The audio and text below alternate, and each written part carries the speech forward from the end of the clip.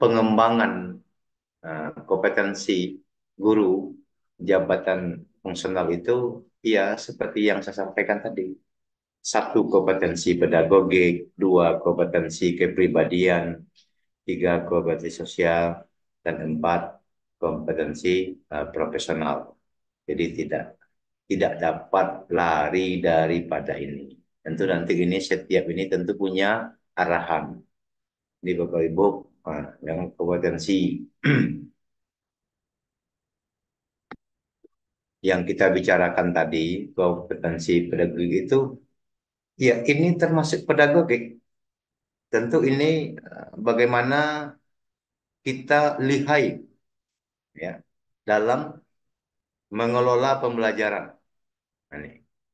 Bagaimana kita mampu bagus eh, dalam mengelola pembelajaran. Pembelajaran yang seperti apa? Pembelajaran yang berpusat pada peserta didik untuk mencapai tujuan pembelajaran. Jadi CP-nya itu apa gitu. CP dari suatu materi itu apa, lalu ATP seperti apa.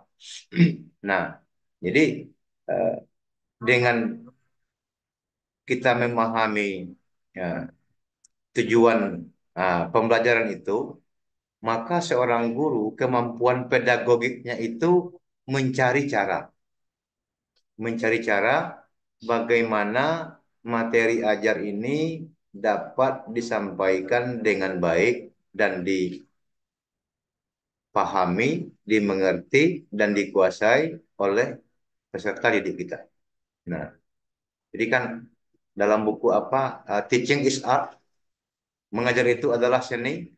Jadi bagaimana seninya, bagaimana kelihayan seorang guru pada kompetensi yang dikembangkan yang disebut dengan kompetensi pedagogik ini, nah, ini suatu uh, apa namanya yang tidak dapat kita samakan antara satu guru dengan guru yang lain.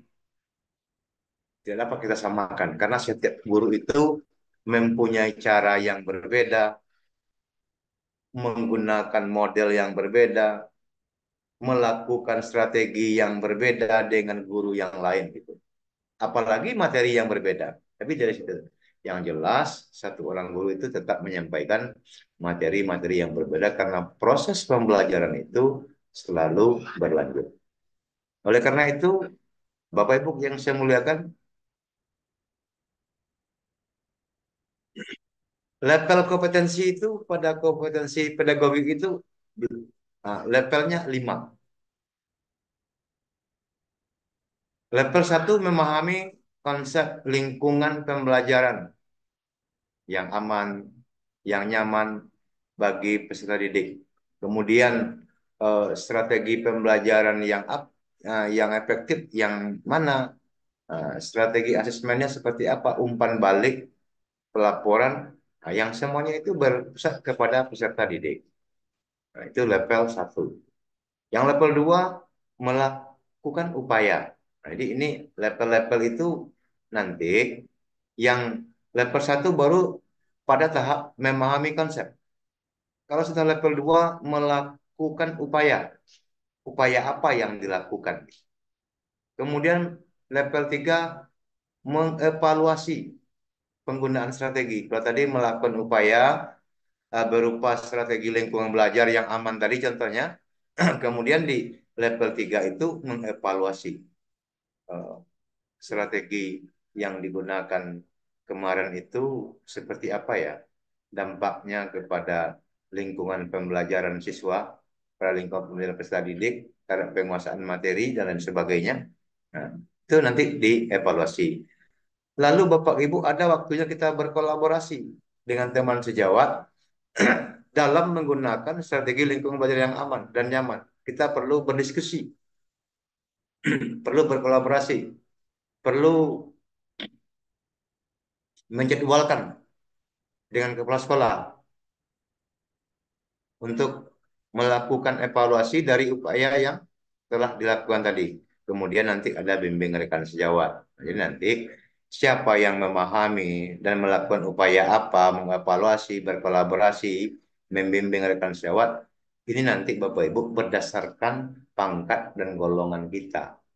Artinya guru yang sudah senior harus mampu membimbing rekan-rekan guru yang masih baru dan lain sebagainya.